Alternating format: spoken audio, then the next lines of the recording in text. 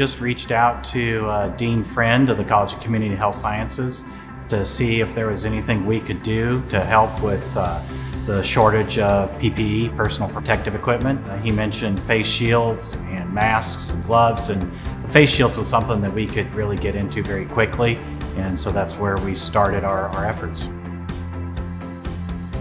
First step in our process was finding a design that we were comfortable with and that the healthcare providers were comfortable with. We didn't want to produce something that wasn't right for the people and their need. The design we had originally took about four hours to print.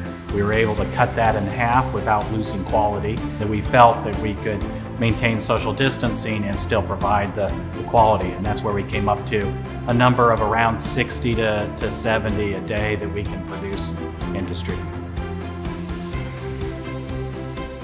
Students reached out to us and volunteered their time so that they could help us assemble the face shields. Some are still living local, and so we were able to tell them that they can come help us assemble and be involved in the process.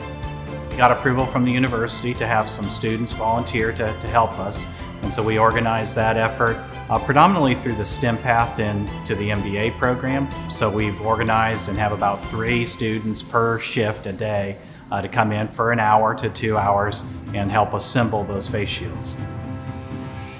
We already have the resources here to be able to create the masks and because of the high demand right now, we wanted to offer our resources to help manufacture the shields and help the local community any way we could. Our first effort is to try to get about 200 to the College of Community Health Sciences for their people. And then we're, we're already in contact with DCH, and so really we'll be starting to supply them. And then in coordination with um, the hospital and college, we'll be distributing out further into the community as we can. So we are sharing a lot of information with other universities, they're sharing with us, because we're all really working together to help our communities. And so it really is uh, a network of friends really trying to help each other, help our own communities. And that's really the bottom line of what we're trying to do.